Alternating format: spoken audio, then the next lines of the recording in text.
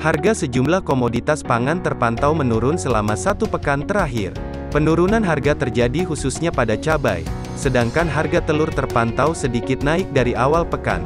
Berdasarkan pantauan dari Sistem Pemantauan Pasar dan Kebutuhan Pokok, SEP-SEP Kepulauan, Kementerian Perdagangan, Kemendak, Minggu, tanggal 17 Juli tahun 2022, harga cabai rawit keriting per kilogram, KEK, tercatat sebesar Rp80.700 atau turun 7,98% dari harga awal pekan yakni Rp87.700.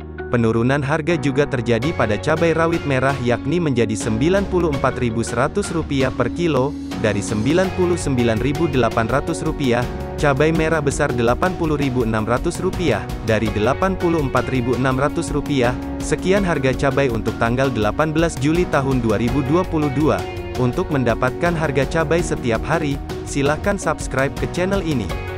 Sampai jumpa di video berikutnya.